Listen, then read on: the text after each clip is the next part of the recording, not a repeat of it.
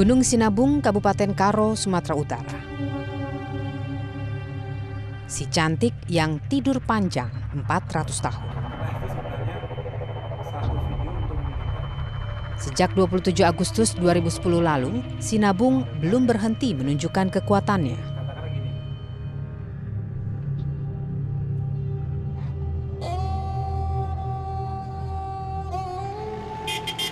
Tiga puluh empat desa di tiga kecamatan dikosongkan. Rumah, kebun, sekolah tertutup debu vulkanik. Pertanian rusak, pariwisata mati.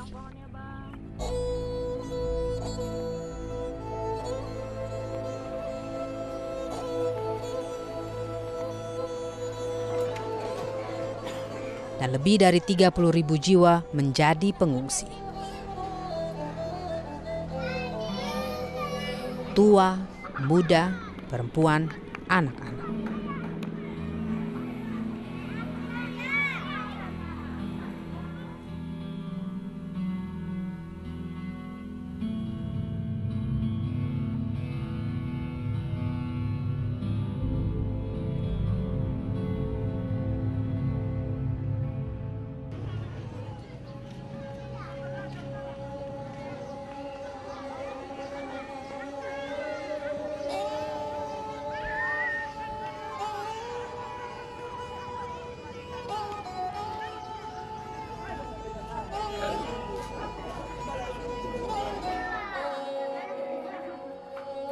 Septaria bangun tinggal menghitung hari ia bisa menimang si buah hati. Bukannya senang, Septaria kalut luar biasa.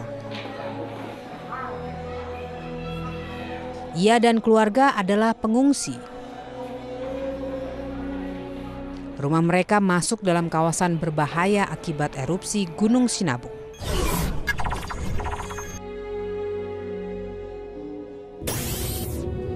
Ya nggak nyangka aja kenapa harus kayak gini gitu. Susah hati lah susah hati sedih gitu. Seandainya balik ke kampung pun nggak ada lagi yang mau diharapkan gitu. Yang bikin berat nanti kalau melahirkan gimana?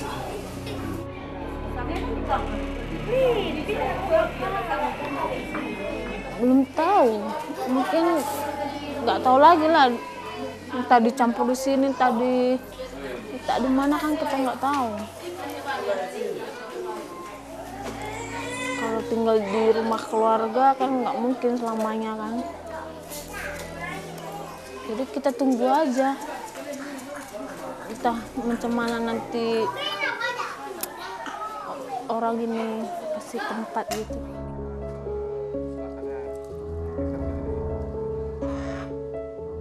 Warga korban erupsi Sinabung terbagi di 43 posko pengungsian. Meninggalkan rumah, meninggalkan kebun sandaran hidup, lalu tinggal seadanya di penampungan.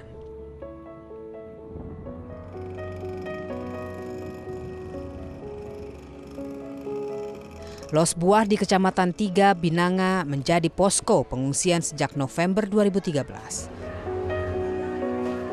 6.000 warga desa Tiganderket, Mardingding, dan Batu Karang hidup seadanya di posko pengungsian ini.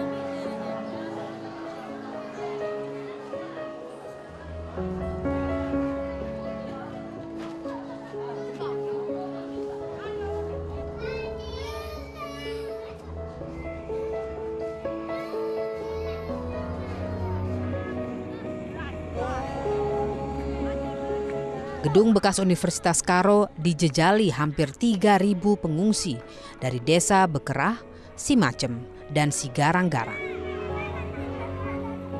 Sebagai tindakan cepat penanggulangan bencana, bangunan apa saja dimungkinkan untuk digunakan sebagai tempat penampungan. Gudang jeruk pun diubah menjadi posko pengungsian. 500-an warga desa Perbaji tinggal sementara di tempat ini.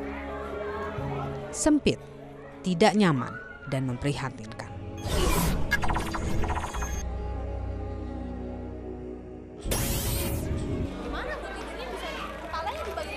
Kepalanya ke sini, kaki sebelah sini. Dekat-dekat dempet semua? Iyalah, jadi macam mana? Orang Ya gimana Bu? di gini lah, gini. Ah, gini. Gini kami tidur. Berberapa berapa orang jadi tidur di sini? Ya. Yang ibu nih yang buat keluarga ibu. Sini, tempat di sini, tempat ini aja. Ya. Eh, menantu saya satu, anak saya satu, cucu saya satu, suami saya satu, saya sendiri satu, gitu. Berarti orang berapa nih? Lima. Biar jajar.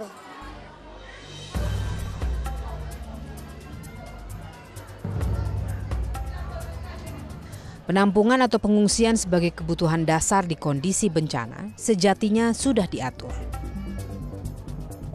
Setiap pengungsi idealnya punya ruang 3 meter persegi. Kebutuhan pangan, sandang, air bersih, dan sanitasi yang baik, kebutuhan dasar pengungsi yang tidak boleh luput dari tanggung jawab negara. Tapi lihatlah ini,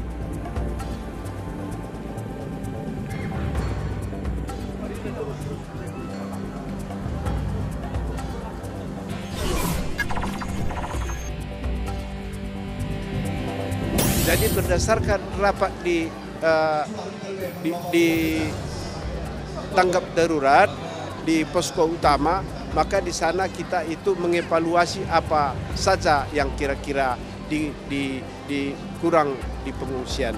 Jadi sesuai dengan sesuai dengan laporannya, maka kita sebagai pemerintah daerah tetap mengadakan pemantauan ke langsung ke tempat pengungsi apa saja yang kurang supaya secara bertahap kita penuhi.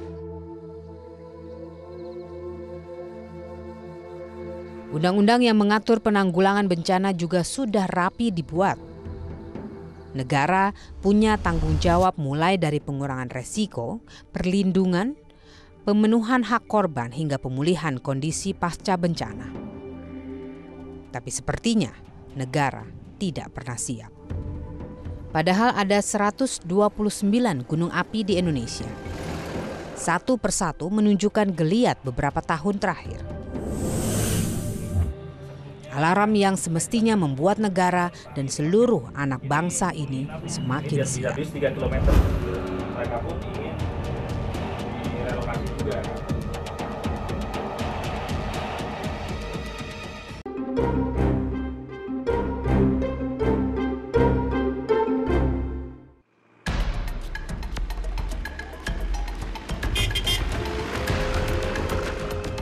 Ketika alam punya kehendak, manusia tidak bisa mengelak. Tapi manusia bisa bersiap meminimalisir dampak. Manusia juga bisa bersatu dan menjadi kuat untuk menghadapi dampak bencana. Bagi oknum tertentu, bencana berarti kesempatan mencari untung. SM mengkoordinir salah satu posko pengungsian korban erupsi Sinabung. SM tahu poskonya mendapat jatah satu ton beras dari kantor ketahanan pangan Kabupaten Karo. Tetapi beras yang diterima SM hanya 900 kg. Ia sempat dipaksa menandatangani berkas penerimaan bantuan satu ton beras, selisih 100 kg dari jumlah yang tertera. Suci kan benar. Ya, makin lah emosi lah aku. Mana sok suci baik pulang berapa itu bilang. Tadi dia ada orang tua kan. Jadi kalau aku bilang Ken, oh ada beras itu pulang itu udah intonasi kasar. Cara tiga kan. Nah, itu suruh gitu dia. Kenapa dia bisa bilang jangan sok suci ya? Ya karena kita nggak mau nerima. Sementara posko-posko lain ACC aja. Gak menerima barangnya atau enggak sejumlah yang salah itu? Dua-duanya lah. Mungkin posko lain itu dapat eh, diterima, diterima cuma lain nggak dicek berapa Berapa karung? Ya, berapa di karung. sini abang ngecek. Nah, di sini karena itu aku hitung berapa kilo per goni dan berapa goni kan gampang hitungnya kecuali tadi sabun atau sampo kan Itu susah. agak repot awak apa ya hitungnya itu udahlah kalau sampo barang-barang kecil kan terlalu susah hitungnya itu kan termasuk gampangnya ya saya coret langsung saya ganti 19 kilo sementara di situ sudah ter- tertera satuan newton Oh, Bang sudah gitu. Ah. sudah diketik sama mereka. Iya, satuan itu ton. Jadi saya coret tonnya diganti dengan 900 kg. Bayangkan jika apa yang dialami SM terjadi juga di posko-posko pengungsian yang lain. Maka ada 4,3 ton beras mengalir entah ke mana. Tinggal di pengungsian saja sudah menjatuhkan mental warga korban erupsi. Dan dengan mengambil hak sebagai pengungsi, para pencuri beras ini semakin menambah kemalangan para pengungsi. Kami mengonfirmasi dugaan upaya penyelewengan bantuan beras untuk pengungsi ke kantor ketahanan pangan. kecil kemungkinan. Nah, tapi seperti yang bilang tadi ya namanya eh, masyarakat ini kan ada macam-macam bu ya. Mungkin ya karena faktor tadi administrasi tidak ada sama dia bertinggal bisa saja. Nah, tapi kalau katanya pemaksaan penekanan itu eh, ada memang betul diteken dipaksa itu saya nggak terima itu. Mau nggak terima lama memang gitu anak buah saya saya tindak. dia tadi itu pak dengan beralasan Hmm. nggak ada biaya operasional gitu. Iya. Ada. Nah, karena katanya nggak ada biaya operasional. Makanya gitu. Begini, saya, eh, begitu turun beras itu, semuanya kami ngiris itu. Itu. Dikira dihitung, ada lima orang, enam orang dia menghitung. Sama-sama menghitung sih. Bukan kami yang yang menghitung. Terus siap dihitung, disodorkan ini, tangan. Gak ada pemaksaan.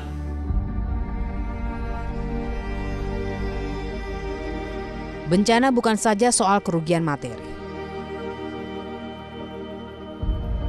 Berbulan-bulan para pengungsi ini tercabut dari akar mereka. Rindu rumah, rindu kebun, tidak punya kehidupan sosial. Mereka tak kuasa memantau langsung bantuan yang menjadi hak mereka.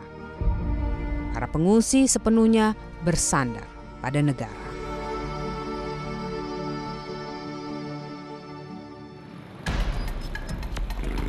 Kabupaten Tanah Karo berjarak 77 km dari kota Medan. Terangkai dua gunung api aktif, Sinabung dan Sibayak, membuat kabupaten ini berudara sejuk. Warga setempat menyebutnya Tanah Karo Simalem, Karo yang nyaman. Pelapukan material vulkanik menyuburkan tanah Kabupaten Karo. Air dari lereng pegunungan melimpah dan udara sejuk menjadikan kabupaten ini surga bagi kegiatan pertanian. Sayur mayur dan buah-buahan menjadi denyut nadi masyarakat Kabupaten Karo. Tapi sejak September 2013, kehidupan pertanian Kabupaten Karo berantakan. Lebih dari 60 ribu rumah tangga di Kabupaten Karo menggantungkan hidup dari suburnya tanah di kawasan Gunung Sinabung. Hasil pertanian di lahan 200 ribu hektar memenuhi kebutuhan Sumatera Utara, bahkan Aceh. Debu vulkanik erupsi Gunung Sinabung menutup dan merusak 20 hektar lahan pertanian dan 33 hektar lahan perkebunan. Kerugian di sektor pertanian dan perkebunan diperkirakan mencapai 712 miliar. Litia menyewa lahan di desa Kutagugung. Untuk membeli bibit tanaman, Litia berhutang. Namun debu vulkanik erupsi Sinabung membuat rusak tanamannya.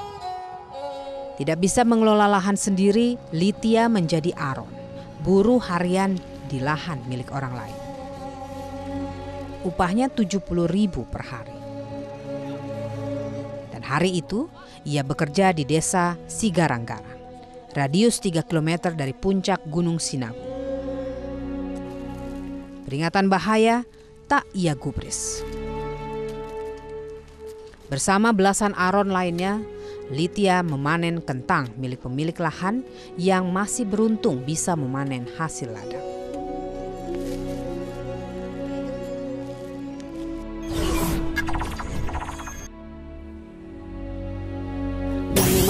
Jadi ke mana itu kalau nggak kerja kami ini apa kami kami kasih jam jajan anak kami pagi-pagi.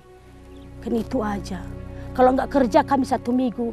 Jadi kalau mau minta anak kami uang jajannya apa kami kasih.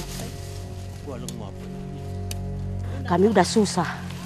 Oh, Jadi anak-anak kami pun susah juga kan. Jadi kami nyewa-nyewa rumah juga nggak ada uang. Makanya susah kali karena nggak ada lagi harapan kami di tanaman ini. Karena udah rusak semua. Apalagi utak-utak kami di kede, di utak-utak pupuk itu. Gimana kita bayar karena nggak ada tanaman. Kalau berladang di Kota Gugu itu harus newa deh. Oh, newa itu. Jadi satu tahun satu tahun satu juta. Kayaknya nggak terangkat lah sama kami. Makanya ya udahlah itu apalagi utang karena nggak apa tanaman kita itu udah rusak semua. Gimana kita bayar itu? Itu makanya arung dulu kami baru nanti kita kami bayar nanti utang kami.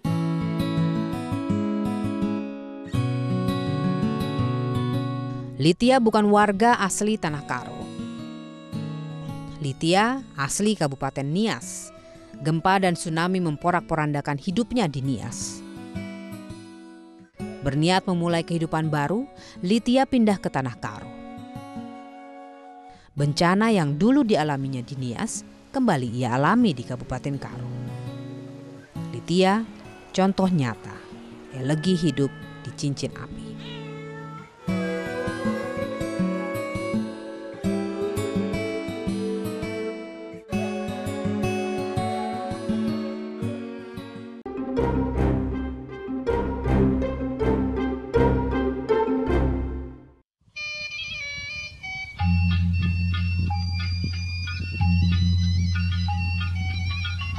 Danau Laukawar berada di radius 2 km dari puncak Gunung Sinabung. Laukawar tidak tertutup abu vulkanik. Tapi sejak erupsi September 2013 lalu, danau asri ini tak lagi didatangi pengunjung. Danau Laukawar merupakan pintu masuk jalur pendakian Gunung Sinabung. Setiap tahun sebelum menapaki Sinabung, ribuan pendaki mampir di sini menikmati keindahan Laukawar. Termasuk Thomas Sembiring Milala. Thomas putra Tanah Karo. Pada 2011 lalu dalam ekspedisi Cincin Api, Thomas menjadi pemandu tim Kompas TV menaklukkan Sinabung. Jurnalis salah satu media online ini sudah menaklukkan banyak gunung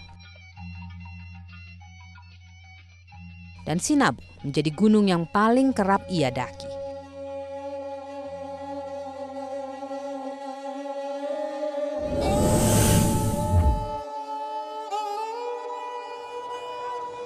Dan Sinabung pula yang menjadi petualangan terakhir Thomas. Thomas adalah satu dari 17 korban jiwa akibat terjangan awan panas erupsi Sinabung.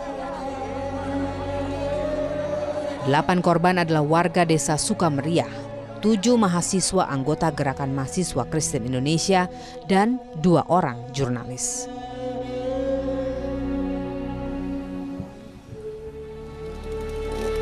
Ini handphone sama Sama tas yang handphone Thomas Sembiring dengan tas dan jam yang sudah tangan. Oh, kalau untuk fotonya gimana? Handphonenya dan masih aktif tadi ada handphone. Ah, agak handphone apa aja bang? handphone, jam tangan yang jam putus. tangan. Hati-hati saya. Oh iya. oh. Sama ini aja. Ini kantong-kantong ada.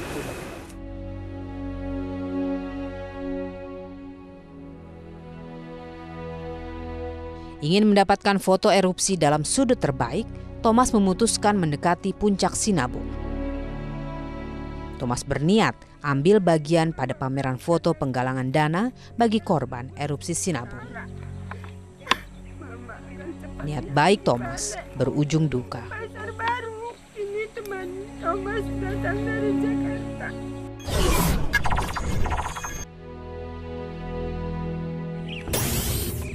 atas segala anugerahmu dalam hidup kami.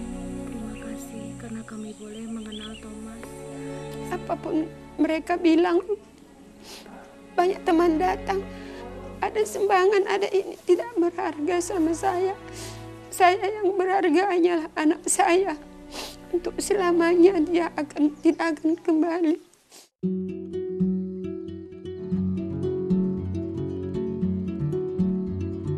Indonesia, negeri dengan rangkaian gunung api. Apa yang terjadi dengan Sinabung masih akan terus dihadapi. Suatu hari, masyarakat di sudut lain negara ini harus meninggalkan rumah, lalu terpaksa hidup prihatin di pengungsian. Hari ini, petani-petani menanam modal besar di lahannya. Lalu esok hari, alam memporak-porandakan semuanya.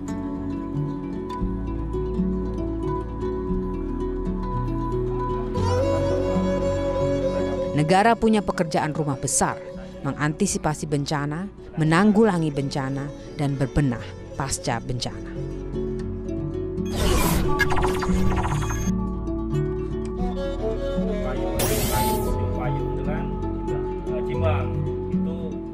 itu kita lihat nanti pasca bencana kita melaksanakan ada program jangka pendek, jangka sedang, jangka panjang.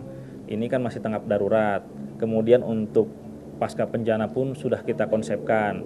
Namun kepastiannya kan sudah jelas kita pun harus mendata dari semua sisi kan. Jadi tidak hanya satu sisi oh seperti ini tidak. Semua akan kita cek, kita data dulu berkaitan dengan lahannya seperti apa, kemudian pemiliknya siapa, dan yang lain-lainnya. Yang jelas itu akan kita pikirkan semuanya, baik oleh pemerintah daerah, pemerintah provinsi maupun pemerintah pusat.